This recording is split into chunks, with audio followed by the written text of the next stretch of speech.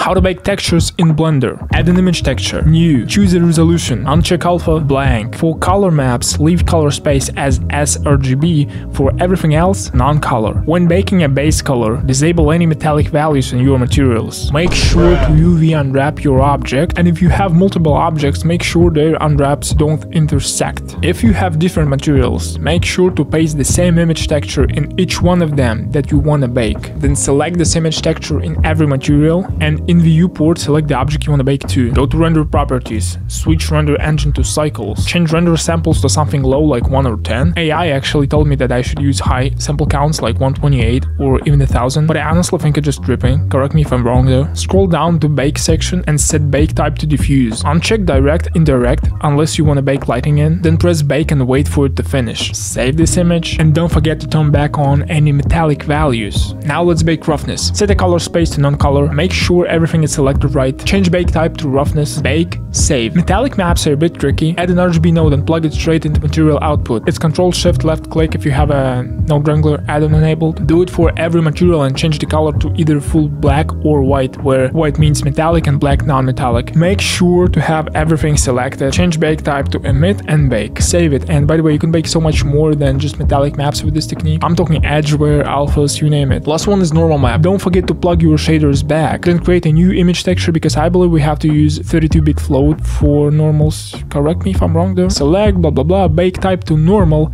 and that is it. You're welcome.